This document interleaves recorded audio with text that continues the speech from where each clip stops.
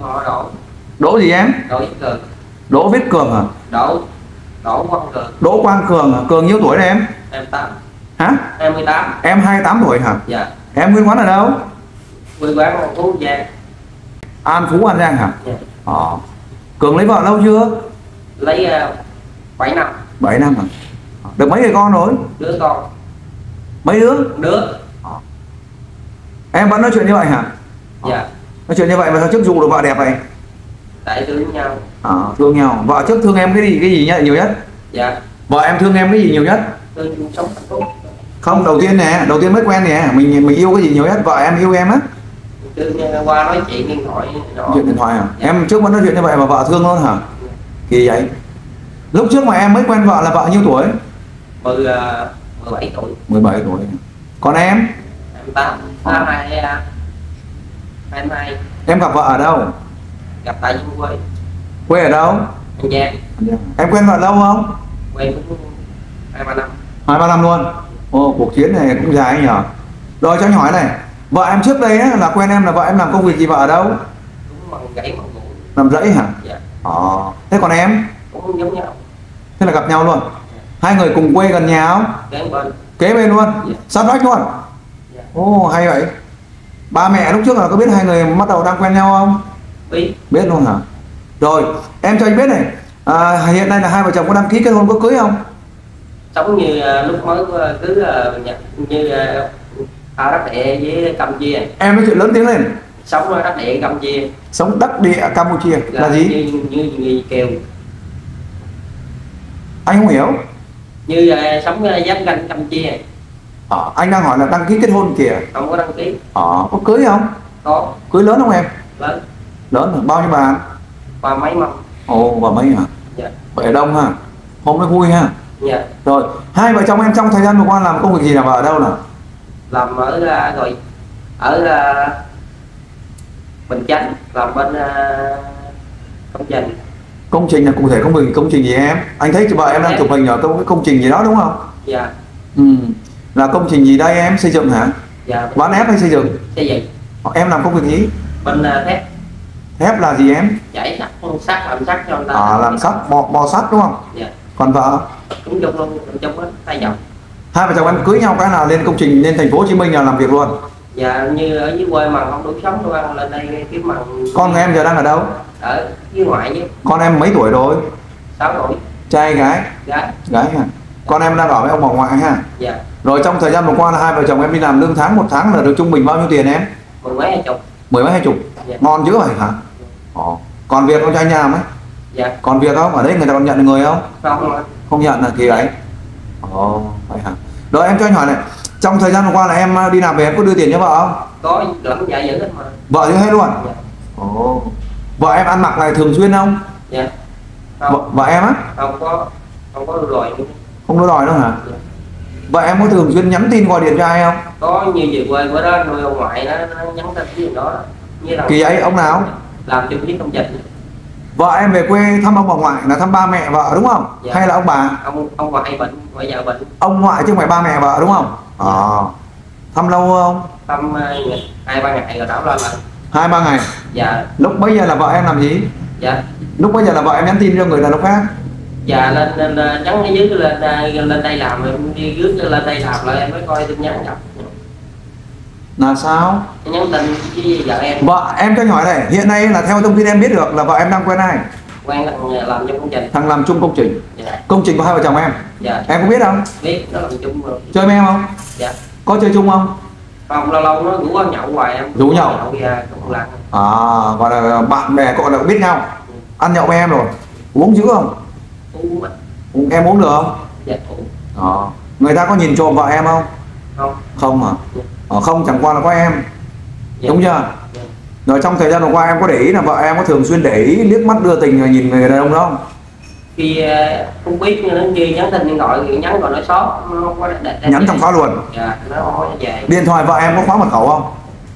Không. Không khóa, nhưng mà nhắn trong khóa luôn. dạ nó phá tin nhắn như em điện kia là phá chơi rồi vô coi tin nhắn thì gặp có Vợ em em Xin chào quý vị các bạn, thì hiện nay bên Công Trần đang bán tinh dầu gia truyền của công ty Dạ Thảo Liên, đặc biệt bên mình đang bán những thuốc về viêm khoang miệng như sâu răng hôi miệng ờ, viêm lợi chảy máu chân răng ê bút chân răng nhiệt miệng lấm lưỡi lưỡi bản đồ viêm nứt da miệng viêm amidan viêm tay giữa đặc trị các bệnh về lấm móc lấm caro trị bỏng lấm móng tay móng chân là điều trị đều khỏi quý vị mua hàng yên tâm à, sản phẩm đã được à, bộ y tế cấp phép và sử dụng. Quý khách mua hàng vui lòng liên hệ theo số điện thoại trên màn hình. Xin chân thành cảm ơn.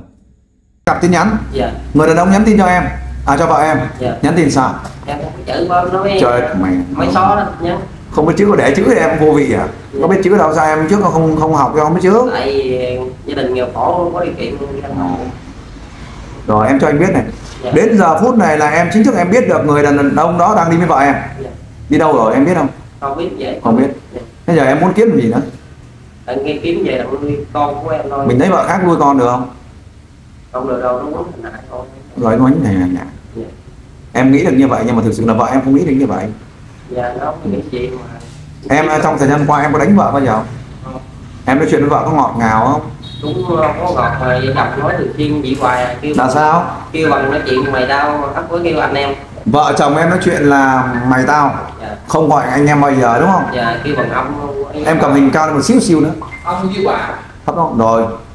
Rồi là hai vợ chồng em vẫn xưng nhau là ông tôi. Dạ. Ồ, ông tôi là từ từng yêu nhỉ hả dạ. Ồ, lúc trước yêu ông yêu tôi ông tôi yêu ông tôi yêu bà lắm. Ờ. dạ Ồ. vợ chồng em có ngủ chung không? Rồi có hả? Tối em tối em ngủ say không? Không. Em ngủ tỉnh không? Dạ. Em ngủ tỉnh hay ngủ say đâu? Tỉnh nhỉ tỉnh lửa đêm em có tỉnh dậy em thấy vợ đi mất đâu mất tiêu không? Không có ngủ hoài à. Không ngủ em khóa cửa nào không? Có. Vậy là người đàn ông ấy ngủ chung với khu vực mà cái công trình mà em làm việc? Như Người- là chọ vướng lên đây nó lên kia. Người đàn ông ấy à, ai là người làm việc ở đấy trước? Dạ. Ai làm việc ở đó trước? Này nhắn tin cho vợ em ồ sao em biết? Tại em coi trắng nhắn trước. À, coi tin nhắn là chào trước hả? Dạ Ồ. vậy là hai người có kết bạn với nhau không hay là chỉ có nhắn tin qua lại không có kết bạn? Có các bạn. Có kết bạn thôi hả? Dạ. Ồ. rồi. Đến giờ phút này là gia đình em biết chuyện này chưa? Biết ba mẹ mẹ vợ biết ba mẹ vợ khuyên gì em không? Có khuyên. Khuyên sao? Khuyên chừng nào để nó sắp xếp nó về thì à, về không chừng nào chán này về hả? Dạ chừng nào chỉ đâu biết trên đây được đâu biết đường biết được. Ờ. chừng nào gì chứ em nghe cái thông tin mà vợ bỏ con dạ. bỏ chồng. Dạ đi quen người đàn ông khác. Dạ. cũng chẳng giỏi giang gì cũng chỉ là làm công giống như em thôi. Dạ. Nó cũng nói em nói là lấy thằng đó người giàu như em đi hơn em cái ông nói gì nữa lấy thằng cũng bằng bằng mướn giống nhau. Không à. đúng không? Dạ. Vợ em năm nay là hai mấy không? Em bốn. Hai bốn tuổi trẻ. Dạ. vợ em có thường xuyên lên mạng chơi tiktok không? Không đâu không không. Hát hò gì không? Không không luôn. Dạ. Không hay là em không biết hay là em không quan tâm? Không quay mà không có quay. Hả? Quay không quay này kia chứ. À, không quay hả dạ. Ồ. đến giờ phút này gia đình em biết rồi. Dạ.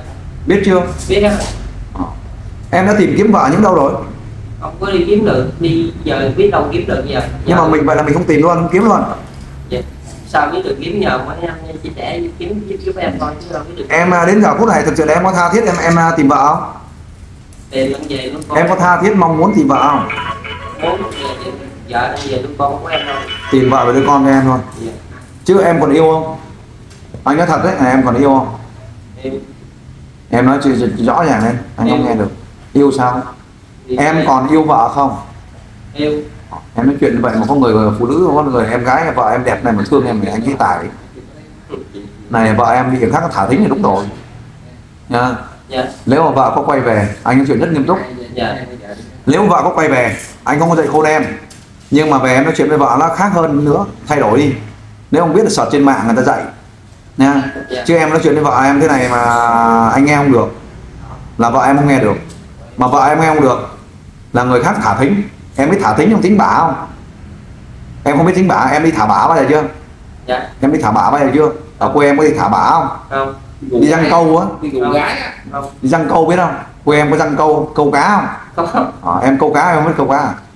Ờ, câu cá mà mình, mình nhử mồi. Mồi thơm thì cá dính. Dạ. mà cá dính là giật rồi là móc vào hàm luôn. Dạ. Treo lên. Đến lúc mà không gỡ được. Dạ. đến giờ phút này là vợ em đang bị người khác người ta răng câu nữa. Ta thả bả thả thính biết không? Nghe nói thằng này nó cũng lấy vợ ra một lần hai lần rồi. Bởi vì nó dẻo. Dạ. Nó nói chuyện khéo. Dạ. Nghe không còn em nói chuyện ờ, anh thấy là anh hỏi em 5 câu anh khan tiếng luôn rồi. Em trả lời anh đấy có phần phần tư câu là anh mệt mỏi rồi. Đúng không? Dạ. Vì vậy cho nên người phụ nữ bây giờ người ta không thích nói chuyện như vậy. Người phụ nữ bây giờ người ta muốn nói chuyện là em không phải là em đi làm kiếm tiền về cho người ta không mà người ta đã đủ đâu. Mình tối về hoặc là lâu lâu mình phải nói chuyện tâm sự. Vợ chồng ôm ấp thì tâm sự nhỏ to. Dạ. đúng không? Anh em ngọt ngào. Dạ. vợ vợ chồng chồng người ta mới yêu mến mình. Thì ra người khác ngoài một đường người khác người ta chỉ nói chuyện giống mình thôi. Dạ. không hơn được còn bây giờ em nói chuyện là cục cằn ngắn gọn thế này em mà ra người khác là anh anh thấy em xinh gái này em đẹp lắm này em duyên lắm này kia em phải làm công việc nọ công việc kia em mới phù hợp thì chắc chắn là vợ em dính bả này à? Dạ. Đúng chưa? Dạ. Hoặc là nếu mà vợ em không về nữa thì sau này mình đến với người phụ nữ khác mình cũng phải nói chuyện ngọt ngào dạ. thì mới bền vững được. Đúng chưa? Dạ. Em anh thấy em là là thấy cũng thương đấy. Nhưng mà em phải thay đổi nha. Dạ trong thời gian qua em có nhậu nhẹt say xỉn bê thao không? Không. Luôn hả? Vậy là hai vợ chồng em cưới nhau cái là đến với nhau là đi làm công trình luôn. Cuộc sống đi quê cũng mấy năm rồi lên đây làm không có Mấy năm? nay rồi trong mấy năm vừa qua em thấy vợ có ăn chơi đua đòi không? Không. Không, không. bộ quần áo này là vợ mặc ở đâu mà trong công trình đây? Dạ. Vợ em đi đâu mà mặc trong công trình vậy? Bộ đồ đó. Bộ đồ vợ em đó À, đám cưới. Đi đám. Đi đám. À, đi đám mà. Dạ. Đi đám nhìn này là mấy ông ông mê tít thò lò rồi. Lại gặp cái ông mà làm công trình chung đó tí mấy tí mẹ em thì cầm cụi buộc sắt ở trên lầu hay là bên dưới là ông này ông dụ vợ em ra đây thủ thủy thổi lỗ tai. Dạ. Đúng chưa? Nó nhắn tin luôn mà. Nhắn tin luôn. Dạ. em thấy nhiều chưa? Nhưng mấy người kia ngầu coi nói thấy nhắn tin mấy người bạn em coi dùm. Dạ. chứ em không biết đọc. Dạ. Đúng chưa? Coi dùm em nói làm sao thấy nhiều nhắn tin thôi chứ ờ, ngầu ngầu nhắn tin thôi chứ ờ, không biết ờ, nhắn chữ gì cái gì không biết. Là bạn em đọc học đọc dùm em không? Không dễ là đọc. Đọc bạn em không đọc họ hả? Sao em cầm điện thoại hoặc em chụp màn hình nhà em em đưa cho người khác đọc dùm? Dạ. Lắm sao không? Bởi ngu hả? Em đâu ngu đâu khôn là ngu gì biết thấy vợ đẹp này đâu có ngu đâu. Vợ đẹp là vợ người ta rồi. Hỏng rồi bây giờ em hãy nói chia sẻ thẳng thắn trên video này em nói chuyện rõ ràng lên. Dạ. Để hy vọng là vợ em xem được vợ em thức tỉnh vợ em quay trở về đặc biệt là không thương em cũng thương con. Lên tiếng nói chuyện rõ ràng lên. Bây giờ còn mong muốn vợ về nuôi con của em thôi. Như là cho con em hạnh phúc thôi chứ không cho người khác vô tình giết con em quýnh hành hạ con em thôi. Với mong mẹ về nuôi con thôi. Em nói chuyện với vợ em đi. Bây giờ là cái cơ hội em đây là em để em nói chuyện với vợ. Em nói chuyện thẳng với vợ trước đây em gọi vợ làm sao bây giờ em gọi như vậy thì gọi vợ vợ vợ gọi vợ về tay rồi vợ không về nữa thôi chứ sao giờ. Bây giờ em nói chuyện với vợ. Mày ơi về với tao. Tao không nuôi con đâu tao bỏ con chẳng hạn. Trước nói chuyện là mày tao thì bây giờ nói chuyện mày tao luôn. Nói chuyện đi. Trước là nói chuyện sao? Cần vợ về nuôi con thôi chứ không có muốn mà xa con được. Con giờ nó buồn nó tóc nó nó biết gì hết trơn. Cần nuôi con thôi hả? Còn ngoài khác không cần. Nên vợ ông về đâu vợ bỏ luôn rồi. À, cần mỗi nuôi con không không ai nuôi con em đâu thì suy nghĩ là khác thì sống chung với lợi chứ còn không biết suy nghĩ nữa thì thôi biết nếu về vợ mà vợ em quay về mà xin lỗi em biết lỗi là biết lỗi sai của mình dạ. thì em có buông tha cho vợ không?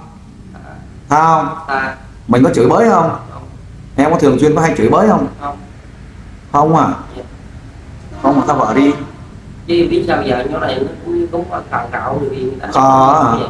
không khờ đâu. Hết mặt này khờ gì chán to khờ gì mắt sâu không khờ đâu.